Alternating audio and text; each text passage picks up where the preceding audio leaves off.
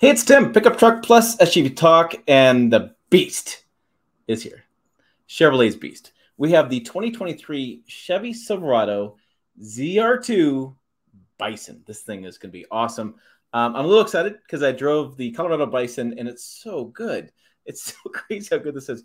So, in this video, I'm going to tell you about the Chevy Silverado ZR2 and Bison, and I'm getting a little excited. There's a new 3 liter inline six diesel engine been updated. I'm gonna give you details on that as well because they kind of put together the same press release. But uh, let's go to the website. So I don't have any video of the ZR2 Bison Silverado, but well, I got some photos and it looks pretty cool in the photos. But I do have a special treat for you. I have some video of the Colorado doing something pretty insane that you may or may not have seen. So let's go to the website. So we have, wait, that's a Chevy? Yeah, that's my headline currently. Joe's gonna edit this a little bit, so I'm sure it's gonna get changed. Managing editor Joe, you know, you follow the channel. You know what's going on here. So we have the Silverado ZR2 Bison. Basically, what they did was they worked with American Expedition Vehicles, AEV. We get Pizza too. Come on, scroll down.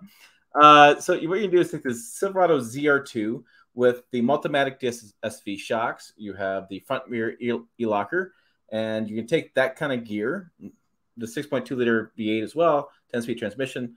Boom, you're going to add new bumpers. You're going to add new um, boron steel skid plates there's five of them. This is boron steel is actually going to be lighter than regular cold stamp steel and like three times stronger. So let's get some pictures. I'll keep talking. You guys look at the pictures.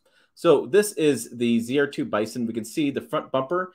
Now it's actually a three-piece front bumper, and what it's designed to do is it has a winch capable inside of it. I don't know why I'm doing interior photos next, but it's winch capable inside, and then they have the Flowtie.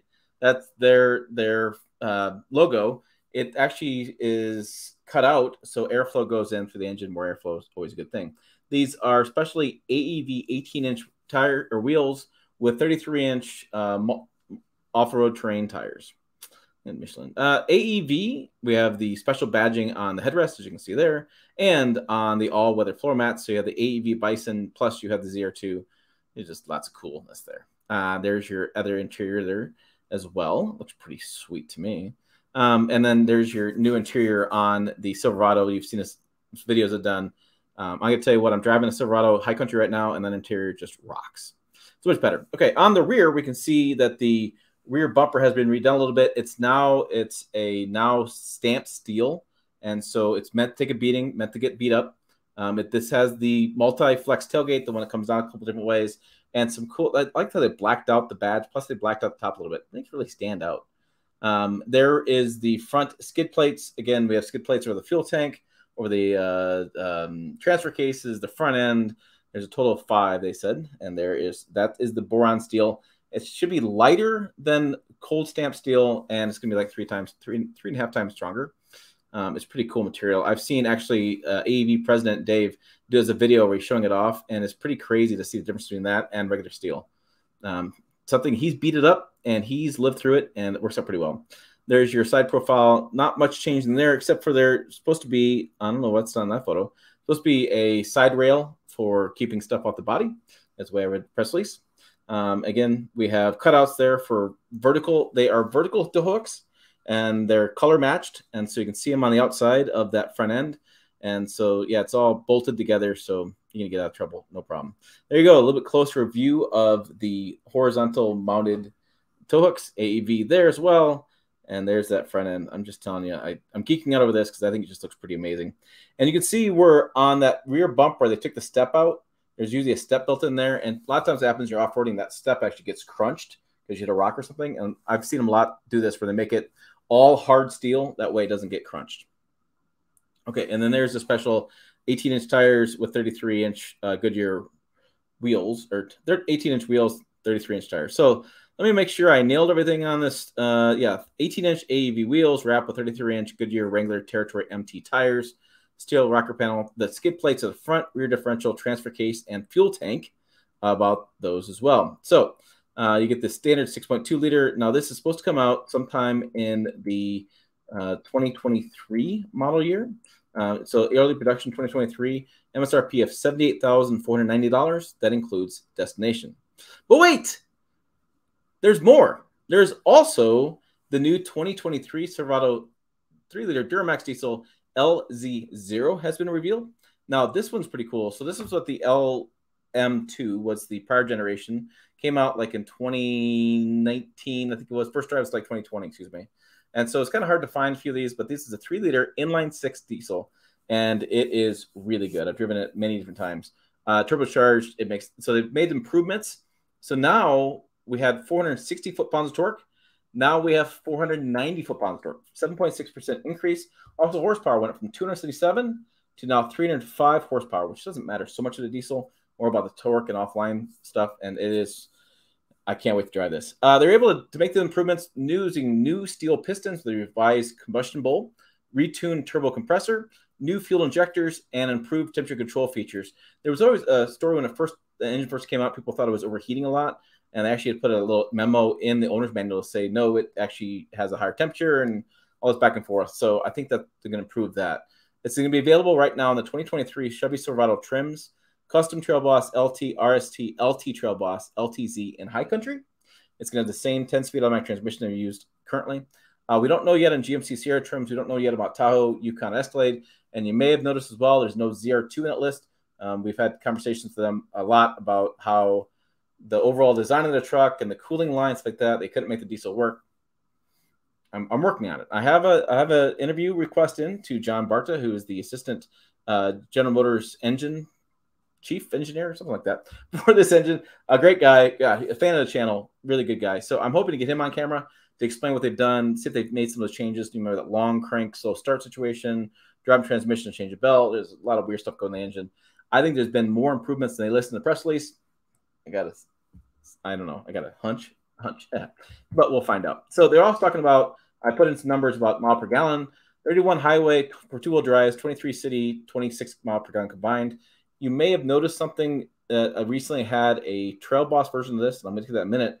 But when you go four wheel drive, you go from 31 to 26 and 22, 23. Um, but for the off road model of the Trail Boss, when you put those bigger off-road tires, guess what? It sucks down the fuel. Hello. Um, so it's something more dropping down to 23 city, 23 highway, and 20 city. So um, get cleaned up a little bit. This is all pre-draft stuff. So there's uh, changes coming to that. I, I, expect those numbers to be the same. I don't expect any improvements in fuel economy, although be a little bit more would be nice. They didn't mention it, so it tells me it's not something there. But that's what we have for that. Now I'm hoping they hold the same price point. The price point was $995 and it was exceptional value for what you got fuel economy plus towing, all kind of stuff going on. So, speaking of how cool it is, you may have missed this video because only 15,000 people watched it. Shame on you guys because uh, it's just really cool. So, I was in Texas doing this drive of the Chevy Colorado ZR2 Bison. Now, this is, um, I'll give you a little backstory before playing this video. We are in this off road park and I'm at the base of this hill and they had told us to go left. You can see kind of left. See that little cut up the left that past those trees. That was a very, uh, let's say, driving Miss Daisy course. And they GM had come out. They pre-did the course. They always do this. So GM was there, Ford was there, Ram was there. What they do is they go and they pre-scout the course. They want to make sure it's challenging enough for the truck, but not anything gets too damaged. Because they still got to use these in marketing and send around the country to journalists or self to review. So what they did was they said this is off limits. So I'm at the basis hill with an engineer, and I said, "Hey, I said, what if you drove it? And he looks at me and he's like, huh, what if I drove it? I said, yeah, what if you drove it and I got out and filmed it? And he was like, huh, that'll work. So I ran up these rocks and he started driving up the hill. I'll make sure I get the volume up all the way too. So this is him. And you can hear the diesel. Now, this bumper, see that bumper there? See the silver and the black? That's a similar three piece bumper that the Silverado had, and I wish I had a better camera for this. So this is my apologies. This is new video, one of my first kind of handful of videos. I got a lot better, but listen to that. And keep in mind, that is not the three liter inline six. That's the 2.8 liter Duramax on the Colorado. So the three liter is even better. But I wanted to point out how he's like climbing along. And yes, this is my bad video work. But there's a spot here in the video where he gets to the top and he basically puts it on the ledge. Here it is. So he puts the whole front end with the skid plate on this ledge. Just watch this segment right now. So he gets it lined up, figures the wheels out, hits the diesel, get that torque, and then just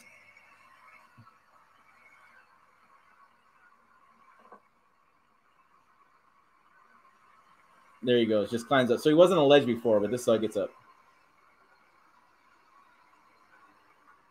All right, I'm gonna go back. I'm gonna go back for a second. Watch this. He gets right up and he just puts the whole front end lid.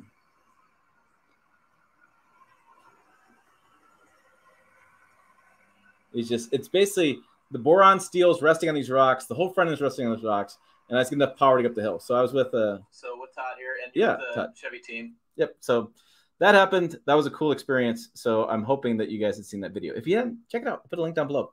Also, check out other videos over here, website down below, pickuptrucktalk.com.